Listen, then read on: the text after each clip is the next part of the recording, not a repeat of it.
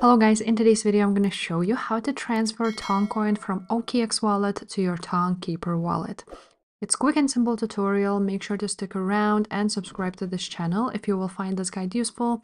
Now, you want to go ahead on your OKX wallet, click on wallet at the top and go to your uh, Web3 wallet.